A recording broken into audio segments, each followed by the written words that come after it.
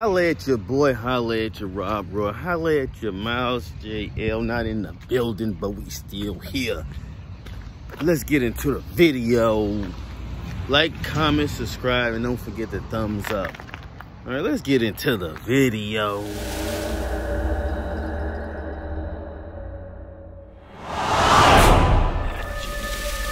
right, guys, let me uh, go into this guy. You know, Tahoe Nation around here. I want to get into this uh, video about uh, how alignments. Hopefully, uh, this is uh, gonna do something for y'all as well. Is it? Um, let me see if I find my keys. All right, I gotta find my keys to straighten out the wheels for you. See that big boy uh, radio right there? Let me straighten out the wheels. You see what I mean by straighten out the wheels right there? Son put a nice grid on this. All right. We up in the building. All right, let me give you a round about the rims. I know y'all come here probably gonna check out since I'm showing it.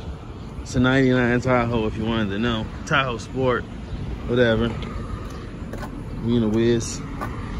But uh you know I painted painted the uh rims to match the car. So do, you gotta clean up some of that rust at the bottom. You know, that's anything because we in the Midwest. We in the Midwest, it's just like that.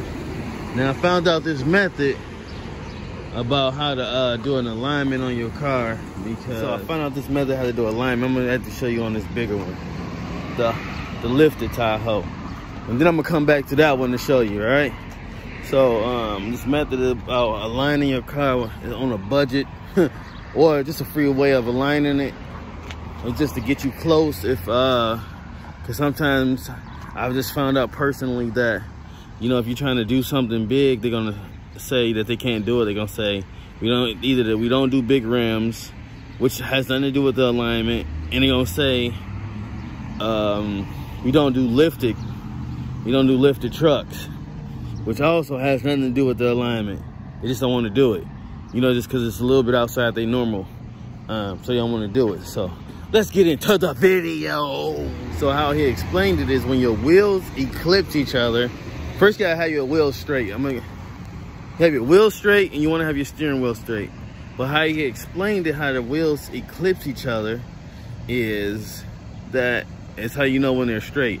So you gotta get the wheels straight. You also gotta have even tread on your tires.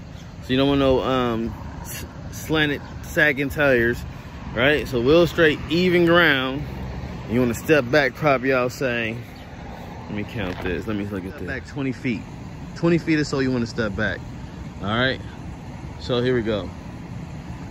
So you can I get closer for you guys to see the same effect that I'm seeing. Uh, but right here, you see the back wheel, because it got a eclipse. The back wheel got to get a nice even eclipse on the front wheel all right so here we go. You see what i mean? So right there you see how the wheels are starting to eclipse each other? You see that little right there? When they, they should so they should line up exactly about right there. That's how you know you got a good alignment. Let me see this side. So you step back that's why you got to step back about 20 feet. 20 feet and you got to get about i'll say um, a foot off the ground two feet maybe, depending on how big your rims are. So you see that back tire, it's gonna eclipse the front tire. It should be every even, so boom, right there. You see, you can see the wheel when I when I bring it out a little bit. You see that back wheel. I mean the front, the back of the front wheel. See the you see the chrome, and you see it all just start going away at the same time. I think I'm gonna call it the eclipse method. That's the only thing I, I don't know if it is called that, but that makes the most sense to me. When that wheel evens up. Because when it's off you'll see you'll see the difference.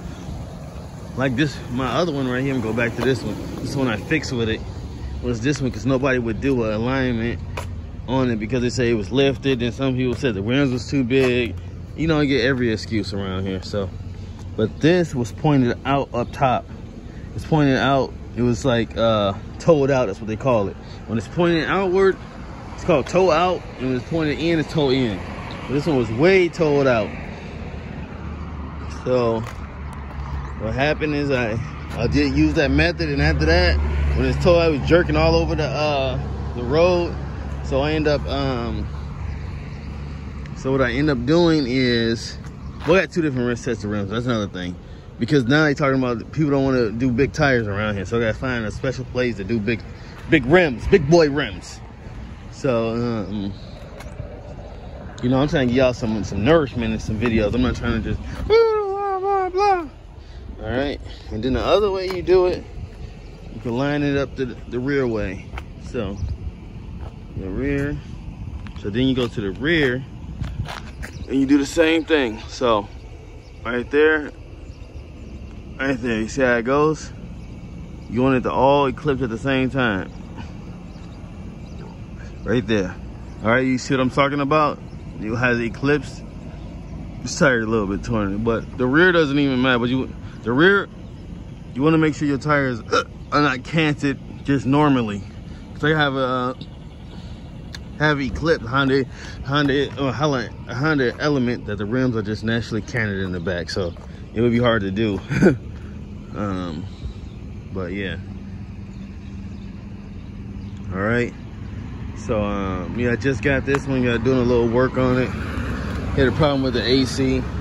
This whole thing was uh, a few things with it. You know, I like it, but it's uh, a few problems with it. But that's another video.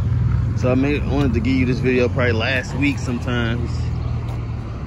It's the summer of 2020. I wanted to hit you with this video last week, but I just kept forgetting my. It's actually my son's phone, so he do all the videos through his. He got the newest phone in the house. Go figure. But um, yeah, so definitely. So guys, if y'all got any problems or got any questions about this method, I'm getting the lighting ain't killing y'all. Y'all got any problems or any questions about this method, let me know because um, it worked out almost damn near perfect for me um, using it on this uh, this beauty right here because nobody would do the alignment on the lifted and then someone was saying we don't do big rims which makes no difference of how the alignment is.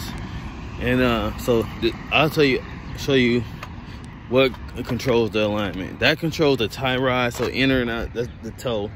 And then these other ones control the top. I'm gonna show you what other top of the uh, the upper A arm. Those are the other ones that control the alignment. Don't mess with those. If you can, don't mess with those. All right, all right. If this video helped you out, don't forget to like, share, comment, subscribe to the channel. Um, if you like Tahoes or you like seeing me and my son just do random things, um, yeah, till next time. Holla at your boy, holla at your Rob Roy. Um, also, um, yeah, just keep it going. Me uh, popping out content on the regular. And anything you like, let me know. Or got an idea of a video or something that didn't get covered in the video. Um, be sure to, to comment or say something down there. I read most of my comments, so. All right, and stay tuned for the giveaway.